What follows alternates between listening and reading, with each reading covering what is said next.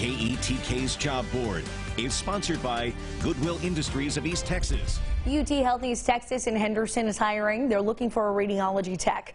In this role, you will perform diagnostic, interventional, and or therapeutic procedures for patients of all ages in a manner that ensures an accurate and a complete examination and treatment by complying with established policies and procedures.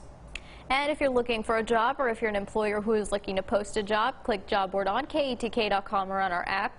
You can find this job and look through thousands of other openings all across East Texas.